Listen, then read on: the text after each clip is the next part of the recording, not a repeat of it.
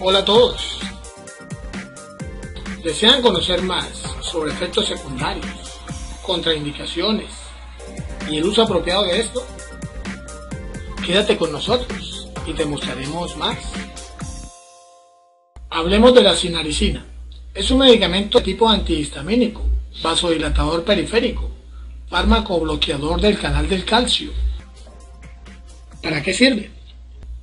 Este fármaco se usa en la prevención del mareo cinético, náuseas, vómito y mareos por el movimiento, síntomas de la cinetosis, que aparecen cuando la persona está en movimiento, ya sea en barco, auto o avión, para tratar la náusea y el vómito debido a quimioterapia, trastornos del equilibrio, vértigos de origen central y tinnitus, y en la enfermedad de Menier, en el tratamiento del vértigo cerebrovascular, acúfenos, dolores de cabeza tipo migraña, jaqueca, profilaxis de cefaleas vasculares, como tratamiento de hemorragias cerebrales en la arteriosclerosis y principios de hipoxia, y en el nixtagmus, movimiento involuntario de ambos ojos, en el tratamiento de la trombosis, derrames, acrocianosis, úlceras tróficas y hemorragias subaracnoideas. Este medicamento promueve el flujo de sangre cerebral.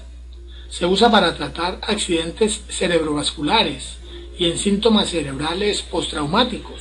La sinaricina permite una mejor irrigación de la sangre, ya que disminuye la viscosidad de la misma y eleva la deformidad eritrocitaria.